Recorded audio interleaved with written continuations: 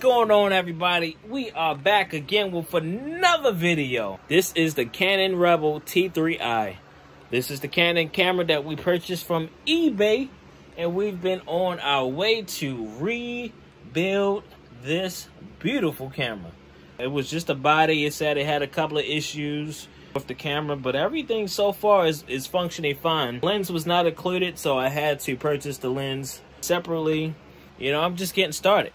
With that note, got our first, our first camera aftermarket attachment, a external microphone attachment, which is our first attachment for this beautiful Canon camera. Let's get to it, baby. So what we're gonna do is we're gonna dig down in here, do our little custom box opening. Now that's very unprofessional the way that we're doing it, but um, the way that we are going to do it today. Um, there we go. Get this box open up for you guys. What do we have here, ladies and gentlemen? So we have this universal microphone here, which we can attach to our Canon camera. The model. These are some features on here. Just in case any of you guys were interested in the specs. I'm just interested in, you know, getting this bad boy installed. Here we go. This is some information for it's pretty much going over some information on the cable. Alright, first thing out the box is going to be our hardware that microphone, audio cables. Alright, we're going to put that off to the side. Uh, we got a case here, just in case you want to, you know, transport your microphone. This is a nice leather too. Let me smell it. Oh my gosh, that smells like fish. Ugh. Ugh. Ugh. This is the microphone where it already has your fairy windshield. That's the aux port to connect it. You can kind of see the microphone inside there a little bit.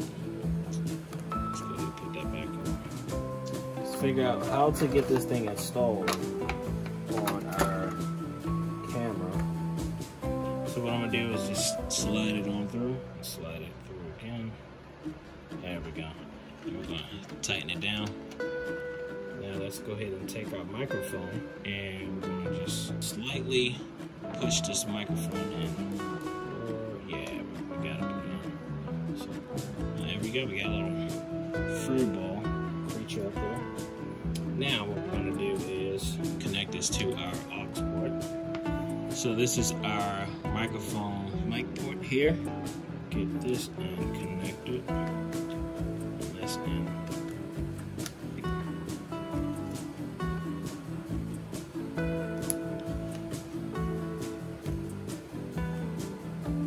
Quick test of our video audio. So what we're gonna do on our camera, we're gonna press menu, and from menu, so now what we're to do is we're going to go over one tab and where it says sound recording, we're to set that bad boy to manual. All right, so now that you can see is that our camera is now basically uh, recording audio from our Boya mic. And as you can see, there's less um, you know, background sounds that's being picked up. Now, if I change this back to audio, as you guys can see on audio, the internal microphone on our Canon camera is picking up a lot of background noise. So let's set that back to manual and we have less background noise. So let's go ahead and test out our Boya microphone.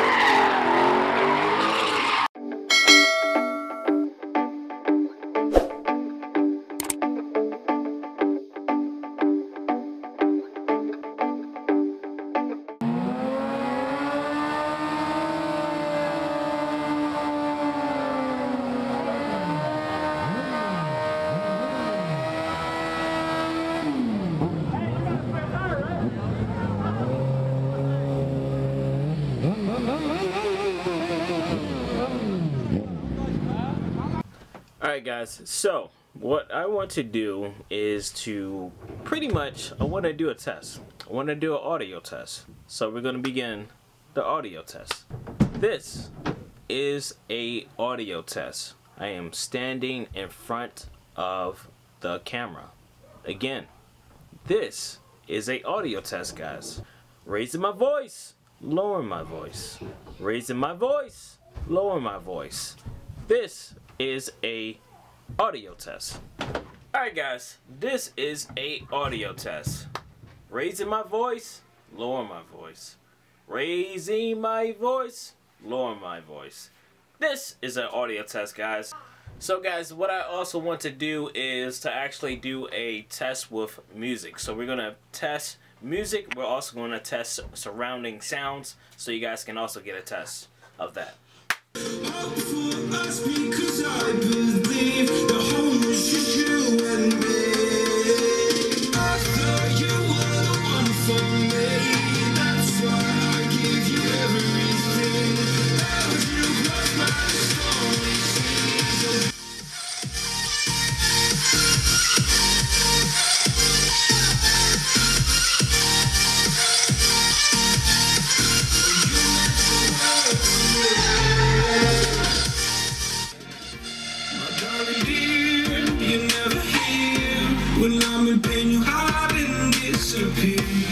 shadows in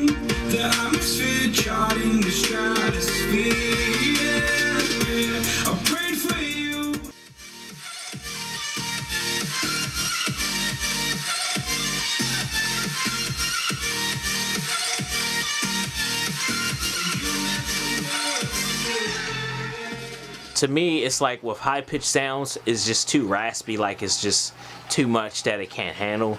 I'm gonna turn up the bass so you guys can kind of get some bass up in there too.